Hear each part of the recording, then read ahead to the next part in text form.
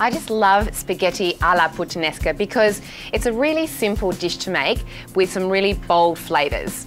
So here I've got some French capers, some sliced black olives, some sliced anchovy, some chilli and of course garlic. My pan is warm over here, so I'm going to add a good slug of olive oil. I'll add my garlic. Now while that's warming, I'll chop my chilli and my capers. I'm going to leave a few of these seeds in because they do add an extra special heat, which I actually really like.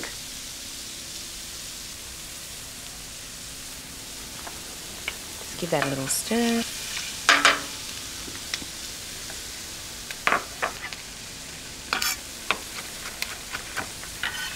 So I'll lightly chop the capers. Now it's my black olives and the anchovies. The anchovies will melt down through the sauce and give a really good bold saltiness, which I really like. Now it's my tomatoes. And some tomato paste.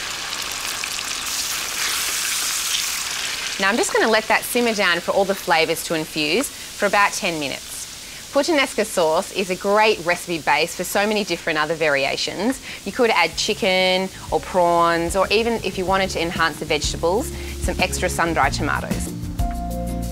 Okay, so my sauce is ready. It's been bubbling for about 10 minutes and I can see that it's reduced down and the oil is sitting nicely. It's really good and glossy. I'm gonna add my spaghetti. It's been cooking for about 10 minutes also until al dente. And I'm just going to toss that through lightly to coat the spaghetti. It's such a quick and bold dish. I love it so much. It's come together so quickly. I'm really hungry. Okay, so now it's time to plate up. If you really want to enhance the flavour of this dish, why not add some sun-dried tomato strips? It'll really intensify the tomatoiness in this dish. I'll just finish with a few sprigs of parsley and there it is, my spaghetti a la puttanesca.